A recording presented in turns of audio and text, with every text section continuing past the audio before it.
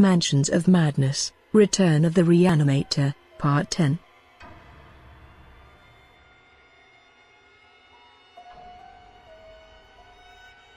Vincent is startled at the sound of Caroline's pistol, she lets a few bullets fly, and he notices one of the monsters acquires a new hole, and a splatter of blood covers the wall behind it. Then, the room is filled with the unmistakable click of a firearm, with an empty chamber. Caroline throws the gun at the monsters, and runs away from them. Dexter uses this distraction to his advantage, and disappears into the shadows.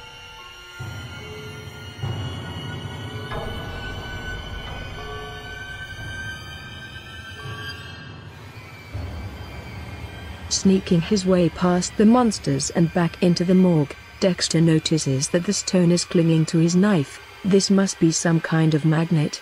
He thinks out loud, then as he reaches the door to the hidden laboratory, he is startled by the sight of a third zombie, and drops everything he was holding onto.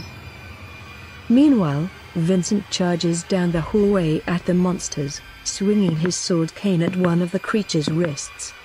He cleanly slices off one of its hands. The monster seems shocked at this, and Vincent dives past them into the secret passage.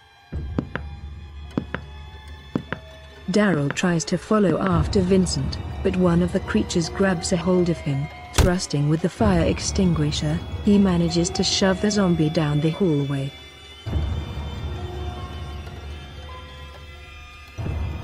Dexter is looking all around the floor, Trying desperately to find the stone he dropped, he notices that all of the severed hands around him have begun moving.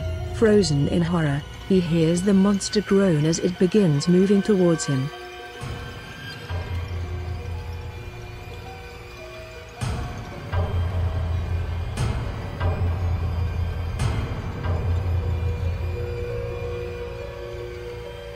Daryl prepares himself, as the monster begins walking towards him, as it gets close, Daryl shoves the zombie to the ground,